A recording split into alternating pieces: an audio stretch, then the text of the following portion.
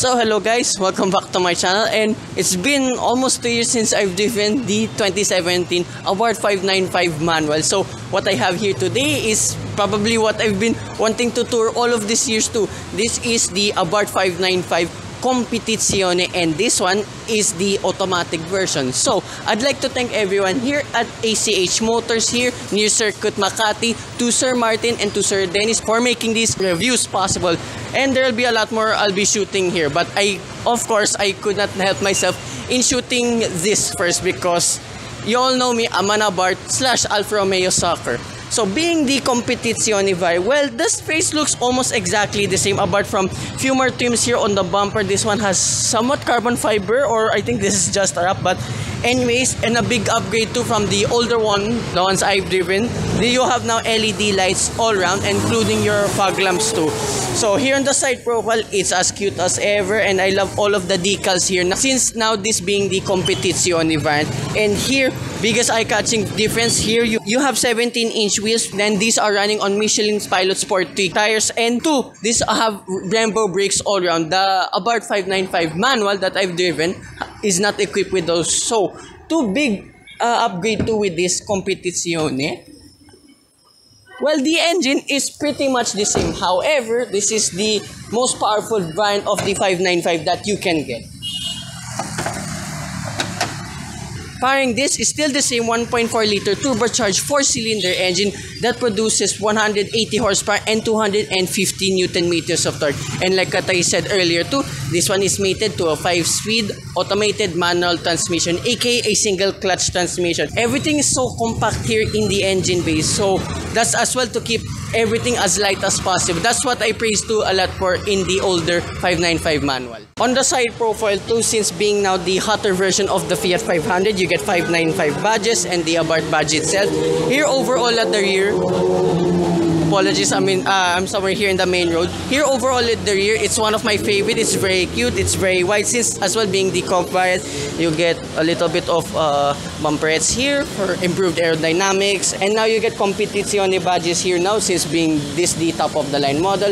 Very large Abarth badge here. And you can see even the 500 uh, model designation here on the uh, boot tailgate itself. But before that, Unlike now with the 595 Mano that I've driven, you get quad exhaust pipes all around and this sounds pretty menacing for a very small car.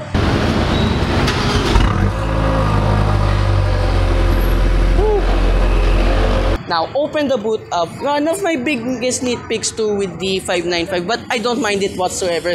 This is your boot space. This is around less than uh, 200 liters, and then you, at least you can fold all of the seats down too. But this is one of the more smaller uh, boot spaces in this class of vehicle, and you can somewhat still sit in here if you want. But I think it's just best for two people, and still at least you can. Oh, you can even put this out a full size umbrella, so you have to tilt it in order to get it out. I think this is even the original uh, Abarth umbrella. And as well, special thanks to Abarth Alfa Romeo Petromax Enterprise. This was the exact unit that was from the original Green Hills branch, which I did the review of, as I said, the Abarth 595. Now, they are located at Alfa Romeo Libis, which I did a review of the Alfa Romeo Giulia Sprint, the GTA M, and the, more recently, the Stelvio. And hopefully soon, we will dive this one and more, more Alfa Romeo soon. Now, this is the interior of the 595 Competizione and like before, this is your key. Then once you start it up, I really love this animation. Of course, you have your instrument cluster and the infotainment system. Once you open it, it even opens the garage to your Abarth 595, which is the same color that I've driven to. So as well as you saw there, you have Beats audio all around this vehicle, which is amazing. I mean, I've tried that out too before. Even though that was just the base model, it is equipped with such feature. So here in the dark card, yes, there's a lot of plastics here there, but I don't mind it. And then you get fabric soft touches for your elbow. Wheel, this is the big difference now being the top of the line model. You get carbon fiber trims around for your buttons. They're both for your phone connectivities on either side, but your volume adjustments here on the left side, the instrument cluster adjustments here on the right side, and your instrument cluster itself pretty much the same as before. And once you press the sport mode here on the middle, now it changes to the very crazy mode. That was the mode I would kept using during the 595 lend out too.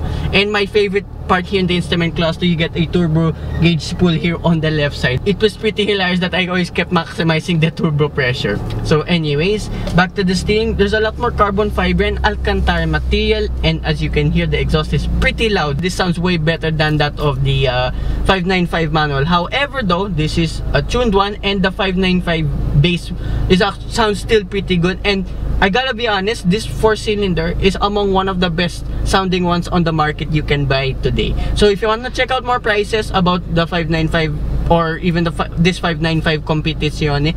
Check out Abarth Alfa Romeo Libis. They're actually selling pretty well. That's why I can't even do a walk around tour over there. But at least there was one here at ACH Motors. So in, in your infotainment system, this was absent in the uh, 595 manual. You only get for your speaker, but I think this is equipped with Apple CarPlay and Android Auto. Just correct myself here on screen. You can do a lot of stuff here, and I got to be honest, the layout looks very similar like that of uh, Dodge vehicles. Well, since again, Abarth's under the FCA Stellantis uh, family too.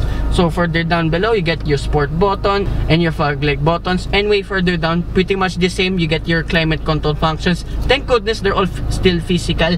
And this is now the biggest difference now. Since this now being the 5-speed AMT transmission, you get paddle shifters all around i mean yes they're plastic but at least your plus minus there's like red indications over here on top and you don't get a gear shift anymore. These are all buttons now. And on either side this is how you put down the windows but i won't put it down. I think this is just uh, newly tinted. Further down below you get a 12 volt socket cubby space two cup holders usb port and a manual handbrake. So what i did before in my Landart review you only can fit uh, small bottles and cups just down there below. And on the right side of the dashboard you still get the Fiat 500 badges over here and then glove box okay pretty shallow but it goes all the way inside. Pretty common for this class of European vehicles. And biggest change now you get Abarth Sport bucket seats. This were absent in the 595 manual. How this is way more sportier than usual but it's still I think it's still pretty much as comfortable as the regular seats of the manual transmission variant. So above here halogen lights, sun visor, ticket clip holder, the vanity mirror is only available on the right side. Don't extend sadly, but that was given in all the Abarth models anyway.